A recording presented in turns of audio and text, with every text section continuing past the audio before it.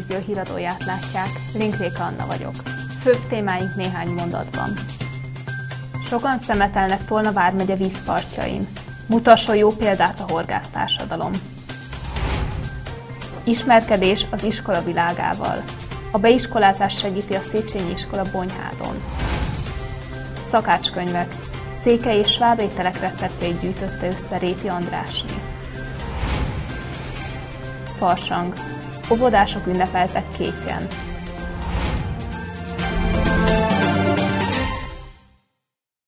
A Tolna vármegyei Horgászegyesületek Szövetsége tavaly valamivel több mint 14 ezer állami jegyet és fogási naplót adott ki. A horgász köteles a környezetét tisztán tartani, és azt a horgászat befejeztével tisztán hátrahagyni. Ennek ellenére mégis sok a szemét a vízpartokon.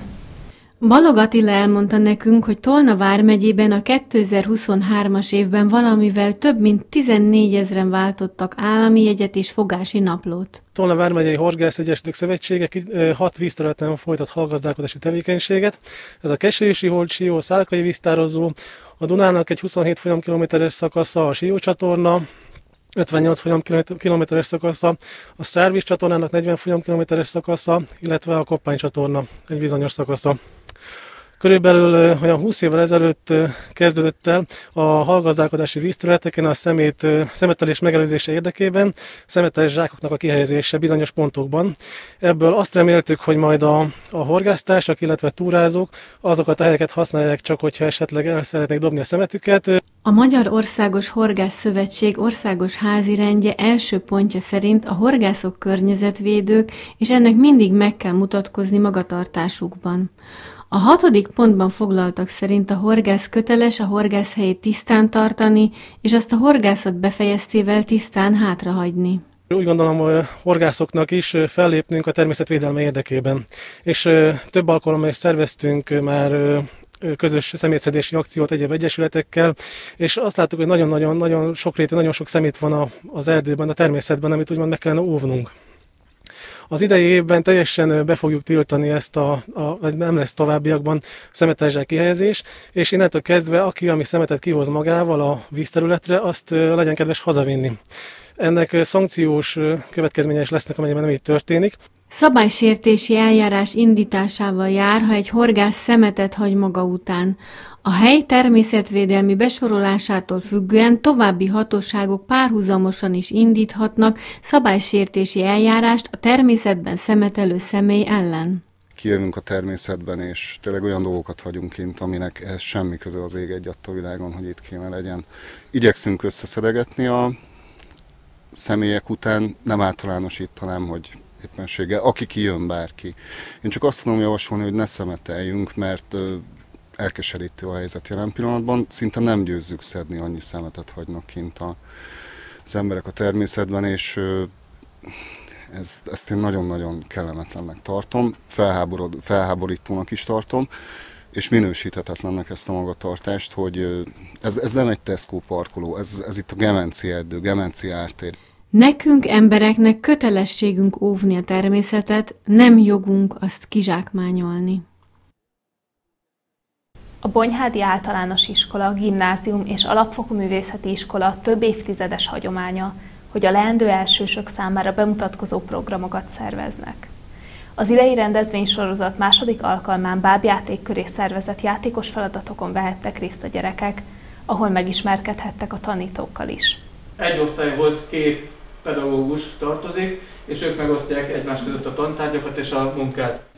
Nem csak a szülők kaphattak információt, illetve tájékozódhattak az intézmény nyújtotta lehetőségekről, hanem a gyerekek is bepillantást nyerhettek játékos programok segítségével az iskolai életbe. A mai napon intézményvezetőként bemutattam az iskolát, de talán ennél is hasznosabb, hogy a következő hónapban, márciusban lesz egy olyan alkalom, amikor a szülők bejöhetnek, és a leendő tanítónőket óra közben megnézhetik, és ott láthatják, hogy milyen kapcsolatot tudnak kialakítani, milyen a légkör, és tényleg tanórai keretek között ismerkedhetnek meg velük. Ez az egyik legfontosabb állomás szerintem. Az iskola számára nagyon fontos, hogy a gyerekek szórakozással egybekötve ismerjék meg az intézményt, Így ne az ismeretlentől való félelem, hanem az újdonság varázsa és a közös játék legyen a meghatározó élmény számukra. Én azt gondolom, hogy amikor a gyerekek az óvodából idejönnek, akkor először meg, megrémülnek, hogy bejönnek a nagy iskolába, az ismeretlenbe, és azt gondolom, hogy a mesével nagyon jól el lehet vonni a kis figyelmüket, és el lehet varázsolni őket pillanatok alatt. A gyerekek találkozhattak az idei év elsős tanítóival, így ha ezt az intézményt választják, már nem egy idegen helyre ismeretlen emberek közé érkeznek, hanem olyan pedagógusokkal kezdhetik meg a tanulást, akikkel korábban már közös élményeik születtek. Amikor elrepül belőled a sorba, akkor Gyorsan, mert így, hát ez nagyon lassú lesz így. Nagyon fontosnak tartom, hogy a szülők és a gyerekek is betekintést nyerjenek az iskolába. Próbáltunk olyan programokat összeállítani, amely a gyerekekhez közel áll, ezért találtuk ki a bábozást, mert azzal úgy gondoltuk, hogy meg tudjuk fogni a gyerekek érdeklődését illetve igyekeztünk bemutatni a, az angolos vonalat, illetve zenés ö, ö, játékos programokat, tesis programokat ö, ö, csináltunk. A beiratkozásra áprilisban kerül sor, de addig is vár minden leendő elsőst a Széchenyi Iskola programsorozat következő alkalmára.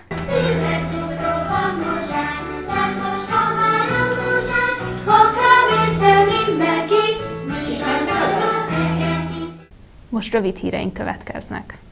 Szalakorlátnak ütközött egy kábelt szállító kamion bölcske magasságában az M6-os autópályán. A baleset helyszínére a paksi hivatásos tűzoltókat riasztották, akik a helyszínt biztosították az autópálya kezelő munkatársainak kiérkezéséig. Ezen kívül egy fémforgácsot szállító kamion az árokba hajtott, majd oldalára borult szombat reggel Bonyhádon, a hatos számú főúton. A műszaki mentés helyszínére a szexárdi és bonyhádi hivatásos, valamint a bonyhádi önkéntes tűzoltók vonultak, akik áramtalanították a tehergépjárművet, továbbá felfogták a szivárgó hidraulika olajat egy kármentő edénybe. A kamion sofőrje önerejéből hagyta el a vezetőfülkét.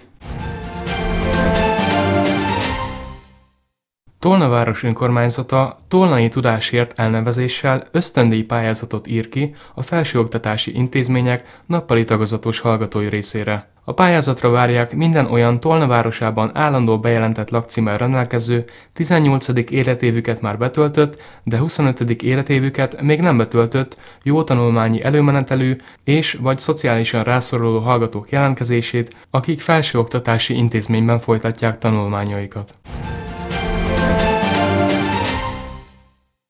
Elfogadta Magyarország kormánya a Nemzeti Digitális Állampolgárság programot, mely újraértelmezi az állam és a polgárok közötti digitális kapcsolatot. Ez a fejlesztés rendelkezik olyan újdonságok létrehozásáról, mint az elektronikus tárca, elektronikus dokumentumtár és aláírás, vagy éppen a digitális postaláda. Könyvbemutatót tartottak Kismányokon a német tájházban. Réti Andrásné a sváb és székely gasztronómia megőrzéseként a nagyszülőktől, rokonoktól és ismerősöktől gyűjtötte össze a népi ételek receptjeit. Réti Andrásné már gyerekkorában segítkezett a konyhában, nagyszülei székelyek és svábok voltak. Hosszas keresgélés és gyűjtés után közel két évig írta meg a sváb könyvét, és ezzel párhuzamosan a székely recepteket is elkezdte papírra vetni. A székelynél kicsit könnyebb dolgom volt, az is a saját családreceptjei, ahogy mi készítettük, ugye ahány ház, annyi szokás mondják. Itt azért volt könnyebb dolgom, mert a férjem székely származású, ő ismert minden ételt. És akkor azokat is elkészítettem, lefotóztam, és akkor könyvbe öntöttem. Fontos számára a népszokások, a tradíciók és a hagyományos ételek megőrzése a jövő generációi számára. Mindkét népcsoporthoz való tartozásomat büszkén vállalom. Nagyon nagy szeretettel gondolok az őseinkre, és én a fiataloknak már többször elmondtam, de nem győzöm mondani, hogy kérdezzenek a nagyszülőktől, addig, amíg van akitől kérdezni. Sokat kérdeztem, sokat voltam velük, de még többet kellett volna. Mert még mindig vannak kérdések jönnek a fejembe, amit azt mondom, hogy meg kellett volna kérdezni. A polgári konyhából származó süteményekkel az ifjabbak figyelmét szeretné felkelteni. Úgy gondoltam, hogy a fiatalokat talán ezzel egy kicsit oda tudom csábítani, hogy ők is megnézik azokat az ételeket is, amiket az őseink készítettek, és örülök annak, mikor a fiatalok visszajelzésként küldik a képet, hogy elkészítettük Jutka néni, és jól sikerült, és kisgyerek, hogy segítettem anyukának a kiflit elkészíteni. És az ilyeneknek örülök. A német tájhászszobája megtelt érdeklődőkkel, akik figyelmesen hallgatták végig az előadást. A jelenlévőket házisós kiflivel, babos zakuszkával és túros kaláccsal vendégelte meg az írónő. Rövid híreinkkel folytatjuk a híradót.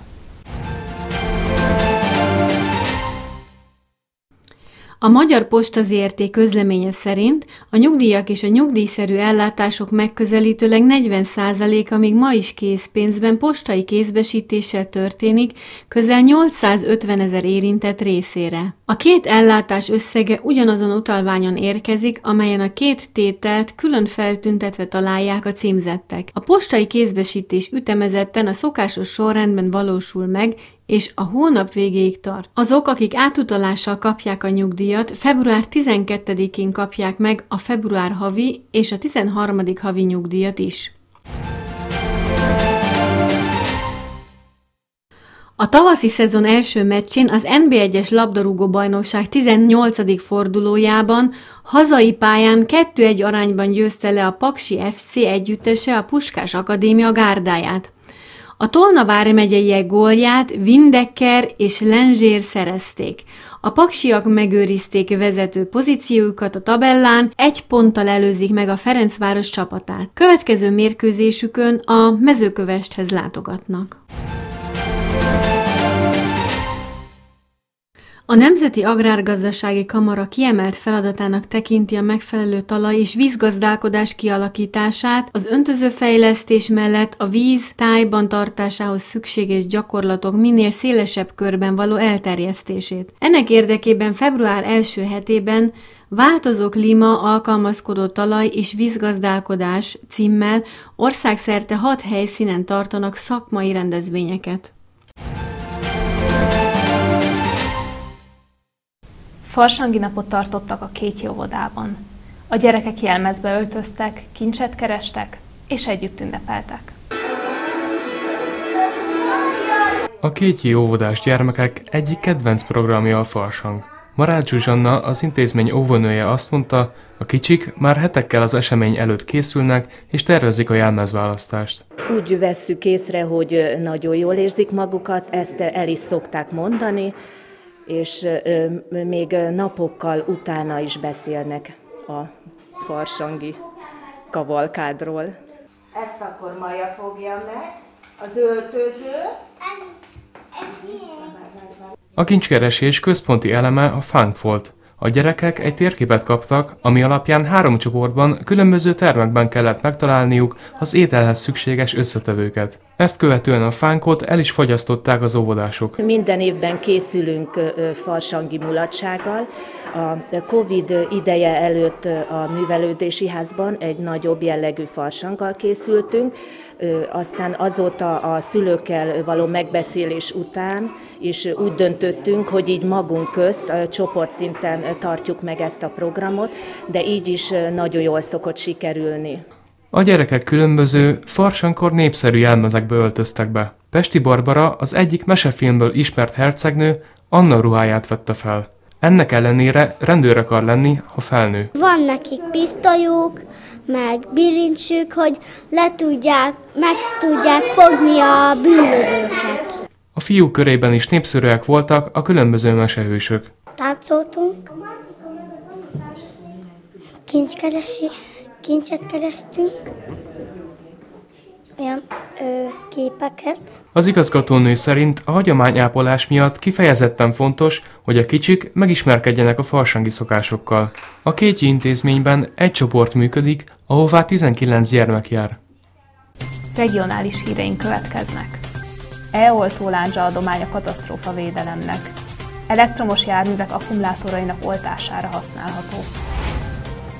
Falusicsok Sok fiatalnak segít az otthonteremtési kedvezmény. Készülnek a szakmák olimpiájára. Pécsen választották ki a legjobb szárazépítőt. E-oltóláncsát szerzett be és adományozott a katasztrófa védelemnek a Magyar Közút és a Magyar Koncesziós Infrastruktúra Fejlesztő ZRT. Az eszközt az elektromos járművek akkumulátorainak tűzoltására használják majd a szakemberek. Korábban minden vármegyei igazgatóság kapott egyet, most azonban azok a szervezetek jutottak hozzá újabb készlethez, amelyek a gyorsforgalmi utak mentén helyezkednek el. Ezzel közel megduplázva a meglévő készletet és tovább növelve a közlekedés biztonságot. Így néz ki az e-oltó láncsa. Kordé Norbert címzetes tűzoltó alezedes kiemelt főelőadó mutatja be a működését. Még decemberben kapták adományba. És természetesen a tömlő tovább megy egy másik tömlőhöz, amiről jön a víz. Akkor kell a kész, ezt az eszközt beütni az akkumulátorba, amikor már a víz jön belőle, tehát folyamatban. És nagyon egyszerű, meg, megnézzük hőkamerával az autóban, hogy hol van az az akkumulátor, ami sérült. Ugye általában az autó alján, a fenéklemez alatt helyezkedik el. Behelyezzük az autóba ezt az eszközt, oda a fenéklemezre, ahol be kell ütni, és van egy nagy 5 kilós kalapács. Egyik kollega ezt így tartja, a másik kollega meg szépen elkezdi ütni ezen a részen. Ez itt direkt azért így van kialakítva. Most összesen 13 e-oltóláncsa készletet szerzett be a 31 ezer kilométernyi országos közutat kezelő Magyar Közút Nonprofit ZRT és a hazai autópályák jelentős részét üzemeltető Magyar Koncesziós Infrastruktúra Fejlesztő ZRT. Ezt megelőzte egy decemberi átadás, amikor 50 millió forint értékben 21 darab ilyen oltóeszköz szerzett be a katasztrófavédelem, és itt országosan, ha el lehet mondani, hogy Budapest mellett valamennyi vármegyébe került oltóláncsa, és az elektromos járművekben keletkezett tüzeknél használható, ugyanis egy égő jármű eloltása után az e-oltóláncsát a sérült, még akár órákig, napokig hevülő újra gyutadó akupakba kell a kalapáccsal beütni, átszúrni magát az akupakot, és a láncsával a víz közvetlenül az akkumulátort védő mechanikai burkolat alá az égő akupakba akupakba juttatható, ami hagyományos tűzoltóeszközökkel egyébként nem elérhető. Fontos, hogy a kor kihívásainak megfelelően mind az eszközökbe, mind az oktatásba beépítsék ezeket az új technológiákra való válaszaikat, mely új kihívásokat is jelentenek számukra, tette hozzá Dóka Imre, tűzoltó őrnagy, a BM Országos Katasztrófa Védelmi Főigazgatóság helyettes szóvivője. 2023-ban, ha országosan nézzük, akkor két tisztán elektromos meghajtású személygép kocsi mellett két elektromos busz, valamint két elektromos lopogó, egy szigdé és egy roller is kigyulladt. Ezek mellett pedig hat esetben hibrid járművekben keletkezett tűz, közülük három plug-in hibrid volt. Ez azt jelenti, hogy ugye ezekben is a nagy feszültségű akkumulátorpakok megtalálhatók. Na, az ilyen esetleg balesetet szenvedett vagy cellazárlat miatt kigyulladt autók beavatkozásánál jelent ez az eszköz nagy segítséget. Korábban minden vármegyei igazgatóság kapott egyet, most azonban azok a szervezetek jutottak hozzá újabb készlethez, amelyek a gyorsforgalmi utak mentén helyezkednek el. Az oltólándzsákat a Magyar Közút és a Magyar Koncesziós Infrastruktúra Fejlesztő ZRT a BM Országos Katasztrófavédelmi Főigazgatóságnak adományozták, ezzel közel megduplázva a meglévő készletet és tovább növelve a közlekedés biztonságot. Népszerű a falusi csak a fiatalok körében. A családi otthonteremtési kedvezménynek köszönhetően sok település megmenekült az elnéptelenedéstől. Somogyban is sokan vásároltak házat, vagy építettek saját otthont a kedvezmény igénybevételével. Pap Lívia három gyermekével és férjével ebben a Balatonbonglári albérletben lakik. A fiatal pár már régóta szeretne saját otthont, erre azonban eddig nem volt lehetőségük. A férjemmel élek itt, és a három gyerekünkkel. Ez egy albérlet lényegében. Most már évek óta albérletben élünk. Azt úgy tudni kell, hogy ez most itt Bogláron ilyen 150 és 250 ezer forint körül mozog így havi szinten. A családi otthonteremtési kedvezménynek köszönhetően szőlős györökön tudnak házat venni. Számunkra ez azért egy jó lehetőség, mert, mert a törlesztő részlet ugye lényegesen alacsonyabb, mint egy piaci kamatozású hitelnél, és most, ahogy így nagyjából nagyvonalúra kiszámoltuk, hogy a, a mi általunk kiszemelt ház vásárlásához ugye a falusi csók az egy visszanemtérítendő támogatás, ez 7,5 millió forintot jelent vásárlásra, plusz 7,5 milliót lehet igényelni felújításra. Nyilván ezt az ember azért egy, egy családi háznál föl is tudja használni, tehát elég hamar elkölthető összeg. Szőlős györök nagyon népszerű a családok körében. A polgármester azt mondja, a csoknak köszönhetően ma már alig lehet eladóházat találni itt. Azt mondom, hogy az itt helyben lévők is nagyon sokan uh, itt maradásra uh, próbálta meg sarkalni őket ez a uh, csok, ami bejött, és itt a településen vásároltak, illetve a meglévő ingatlanjaikat uh, próbálták meg felújítani, de nagyon sok olyan is van, aki a kert végébe uh, egy másik utcára nyíló területen épített vagy épít házat. Nagyon sok telek, nagyon sok ingatlan volt, ami eladó sorban volt, és ezek már mind elkeltek, hála Isten, és nagyon sok fiatal keresi meg a településünket. A családokat a kormány továbbra is támogatja, a Csok Plusznak köszönhetően még több fiatal pár vásárolhat magának majd saját otthont. Az ország legjobb szakmunkás tanulóinak kiválasztása folyik jelenleg. Ők lesznek azok a fiatalok, akik a szakmák olimpiáján képviselhetik Magyarországot. Pécsen a hazai szárazépítők mérték összetudásukat, versenyeztek a kiutásért. Dolgoznak a szárazépítő szakmunkás tanulók a Pécsi Pollák Technikum műhelyében. Az ország legjobbjai jöttek Baranyába és mérték össze tudásukat pénteken. A verseny maga egy nemzeti döntő, ez a World Skills Lyon 2024 nemzeti döntője, tehát az a versenyző, aki ezt a versenyt megnyeri, az 2024-ben, az az idei évben Lyonba utazik a világbajnokságra, és, csap, és a csapatnak lesz a tagja, a nemzeti válogatottnak lesz a tagja, úgyhogy nagyon fontos ez az esemény nekik. Ők most itt öten versenyeznek, és egy bemutató emberünk van, aki szintén szerette volna megmutatni magát, de ő versenyen kívül. Úgyhogy nagyon kíváncsi vagyok, hogy ki lesz az a fiatal, akivel majd utazunk együtt Lyonba a versenyre. A Pécsi selejtezőről egy száraz építő jut be a Lyonba utazó magyar csapatba. Ő majd egy 120 napos felkészítés után szeptemberben utazik a világbajnokságra.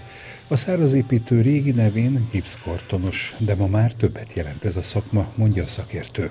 Igazából a száraz építő a gipszkartonos, aki a gipszkarton szerkezeteket megépíti az adott épületben, de a magán a verseny ez egy sokkal tágabb értelembe vett szakma, hiszen stukkot kell húzniuk a versenyzőknek, ilyen különleges gipsz munkákat kell végrehajtani, vékony vakulatot kell feltenni a gipszkartonra, tehát egy sokkal szélesebb repertoárt mutat, mint amit Magyarországon tudunk, mint gipszkartonos. Tehát a száraz építő az egy, az egy sokkal szélesebb szegmens akar le a világversenyen. A Magyar Kereskedelmi és Iparkamara segíti a szakmunkás tanulók felkészítését a versenyre. Az idei évben 21 ö, szakmában fog Magyar, Magyarország indulni a világversenyen Lyonban. Ez azt jelenti, hogy 25 versenyző fog szerepelni, hiszen vannak olyan szakmák, amik páros szakmák, ilyen például a kertépítő szakma is. És én azt gondolom, hogy a tavalyi gyönyörű szép Európa bajnoksági eredmények után azért itt is nagy, bár nagy elvárásokkal indulunk, de én azt gondolom, hogy a, a magyar csapat felkészülten kezdte el februárban a felkészüléseket a szeptemberi eseményre. A kamera mellett kiemelt szerepe van a szakmai támogatóknak a felkészülésben. Akik a felkészülés idejére biztosítják azokat a helyszíneket, anyagi, eszközi feltételeket, amivel a fiatalok felkészülési időt töltik, illetve tudnak gyakorolni. A kamara különböző más támogatást ad, mint például a mentális felkészítés, hiszen egy ilyen versenyen nem csak a szakmai ismeret a fontos, hanem az is, hogy a fiatalok mentálisan is hely tudjanak állni. Azért igen, sok stresszhatásnak vannak kitéve egy ilyen eseményen, hiszen azért, ha ezt elképzelünk egy világversenyt, ott 1600 versenyző fogja magát megmérettetni, közel 70 tagország jelenlétében. Ezért is hívják a szakmák olimpiájának a World Skills versenyeket, ahol, mint az élsportolóknak, kimagasló eredményt kell nyújtaniuk a fiataloknak, hogy jó helyezéseket érjenek el a négy napos versenyen. A kiírás szerint az indulók felső korhatára 22 év, kivétel a mehatronika, ahol a betöltött 25. év a korhatár. Végül mutatjuk Tolna vármegye híreit még egyszer, röviden. Sokan szemetelnek Tolna vármegye vízpartjain. Mutasson jó példát a horgásztársadalom. Ismerkedés az iskola világával. A beiskolázás segíti a Széchenyi iskola Bonyhádon. Szakácskönyvek. Székely és sváb ételek receptjeit gyűjtötte össze Réti Andrásné. Farsang. Óvodások ünnepeltek kétjen.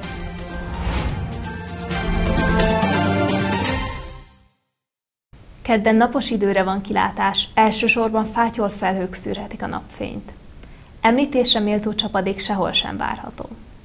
A nyugati délnyugati szél még sokfele élénk erős lesz, de viharos már csak néhol lehet. Reggelre a kevésbé szeles délnyugati tájakon foltokban pára, köt képződhet. Folytatódik a koratavaszi idő, a csúcsőmérséklet 12 és 17 fok között alakul.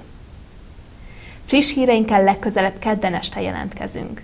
Addig is kövessék műsorainkat, illetve keressenek minket a Facebookon, ahol naponta friss hírekkel, érdekességekkel várjuk Önöket.